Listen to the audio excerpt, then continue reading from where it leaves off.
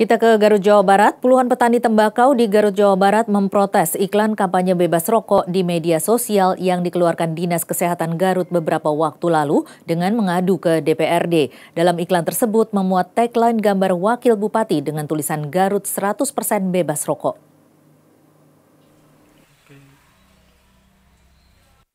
Sebagian besar petani tembakau di Garut, Jawa Barat kini tengah geram terhadap Dinas Kesehatan dan Wakil Bupati Garut atas munculnya iklan kampanye bebas rokok yang dibuat di media sosial pada pertengahan bulan Februari 2021 lalu.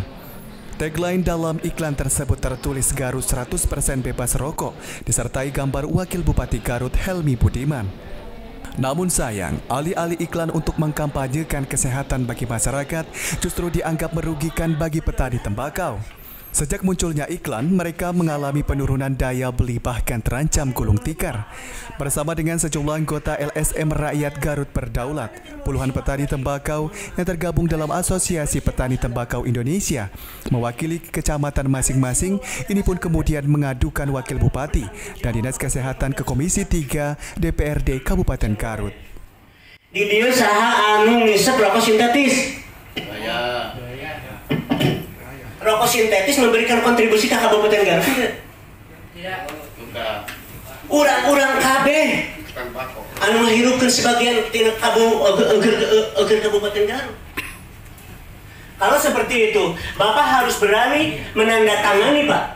Menandatangani kepada ditujukan ke Menteri Keuangan untuk pencabutan dan penghentian bantuan BPHCHT dan cukai tembakau ke Kabupaten Garut. Itu salah satu konsekuensi, Pak.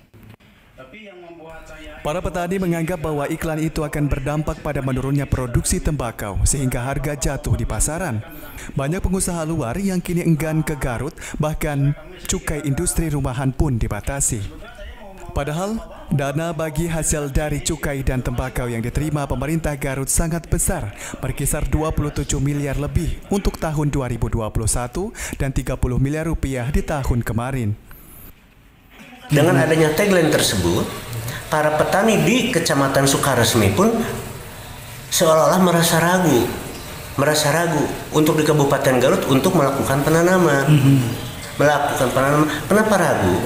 Karena nanti untuk ke depannya daya jual tembakau akan menurun dengan alasan yang ditakutkan oleh para petani. Dengan kebijakan seperti itu para pengusaha imbasnya ke pengusaha industri kecil. Banyak sekali usaha industri kecil di Kabupaten Garut yang mengolah tembakau mole nantinya akan gulung tikar. Itu. Dan jelas petani akan dirugikan. Menanggapi hal ini, Dinas Kesehatan menyatakan jika tagline dalam iklan tersebut bukanlah pernyataan Wakil Bupati, melainkan murni inisiatif Dinas Kesehatan Garut agar iklan kampanye tersebut diakui masyarakat. Iklan ini pun dibuat atas dasar perintah Kementerian Kesehatan dan Kementerian Perindustrian dan Perdagangan.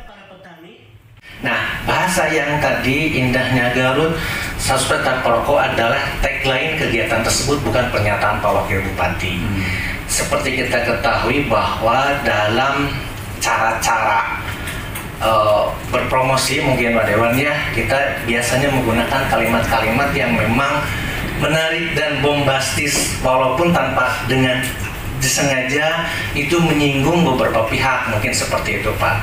Tapi intinya tadi ini bukan pernyataan Pak Wakil tapi sebuah tagline dari kegiatan. Kami harus mempromosikan, harus memasyarakatkan perilaku hidup bersih dan sehat. Di mana salah satunya adalah uh, apa menghentikan kebiasaan merokok walaupun pada saat ini yang menjadi penilaian kami adalah tidak merokok di ruangan karena bagaimanapun yang kami ketahui secara ilmu pengetahuan uh, memang banyak sekali dampak-dampak rokok terhadap kesehatan. Atas munculnya iklan tersebut, petani menuntut agar Wakil Bupati dan Dinas Kesehatan meminta maaf kepada para petani dan merubah iklan. Jika tidak dilakukan, mereka mengancam akan memberhentikan asupan dana bagi hasil cukai dan tembakau ke Kabupaten Garut. Dari Garut, Jawa Barat, kontributor Nusantara TV, Sumantri melaporkan.